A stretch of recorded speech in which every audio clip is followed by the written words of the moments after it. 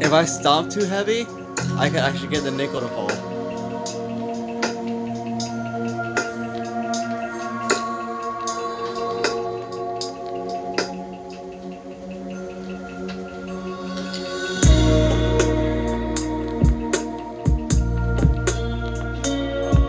So I actually have to be more careful about how much I'm stomping.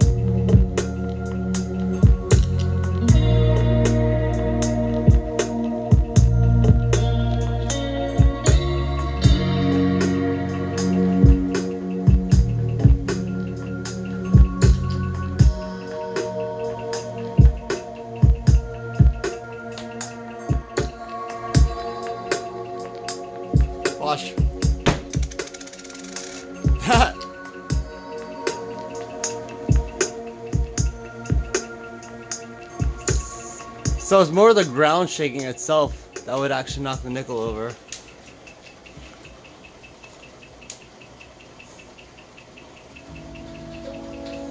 So for a passive and an active, the way it's tuned to 52 hertz at a perfect equilibrium tends to work really well. It actually makes it function as if it's actually a force cancelled sub. Because at the point where it would actually start really producing really low SPL with lots of high impact that would cause wobble. Because it's actually being used on the stands I originally used on my LS50s but it's not used correctly because these stands are meant to actually stabilize forward and backward and are actually less stable side to side so the subwoofer, if it had a driver only on one side, would wobble the hell out of this thing. Just like a speaker placed sideways on it would. But yeah, they did a pretty damn good job. It literally behaves as if it's force canceling, which I found pretty impressive. I've changed it in a piece.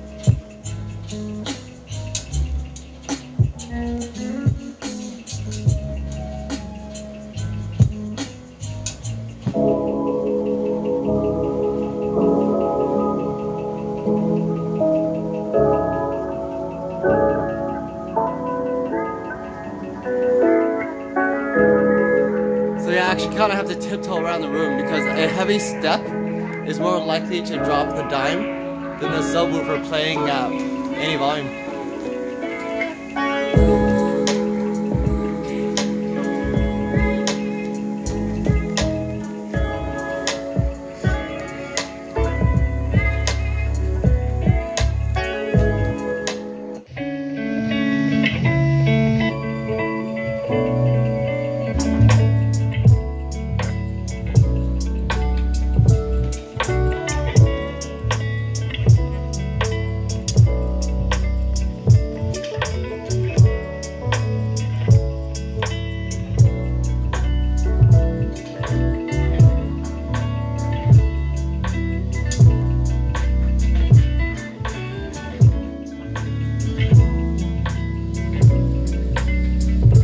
Stomping again.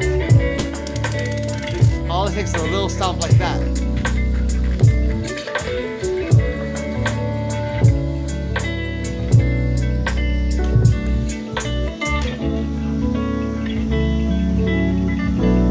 So that was pretty much a beginning of experimentation with passive radiators that the Q series now uses, and you kind of see how that evolved into how the Blade now uses dual couple canceled active drivers.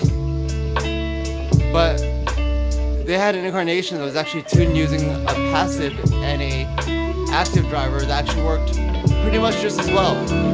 This same configuration is actually now being sold as the T2 Slimline sub, which is actually a square box and it only has the active driver and no longer has the passive driver on the other side.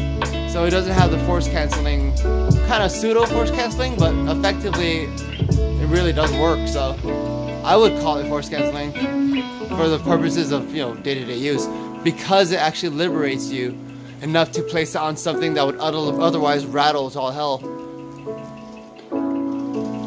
Like obviously a Velodyne 10 inch would not do too well. I understand it's flimsy, especially well, it's not flimsy forward and backwards, but side by side, it's not really that stable.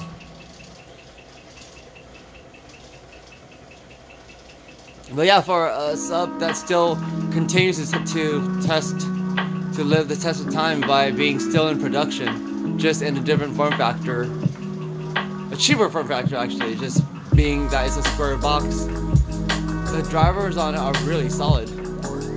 I feel the rumble of the floor a lot more than the sub itself feels, which is interesting.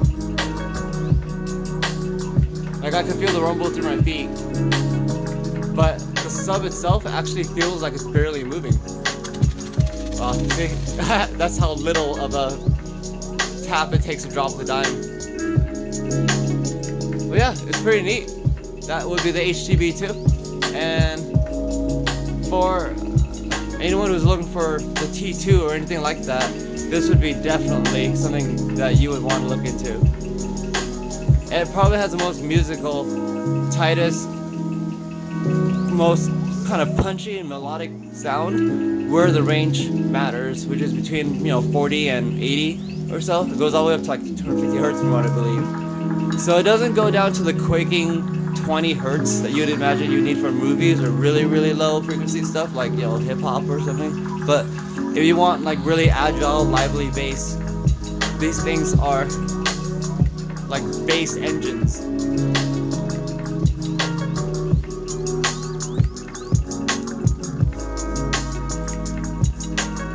That easy. Ha! yeah. Anyway, thanks.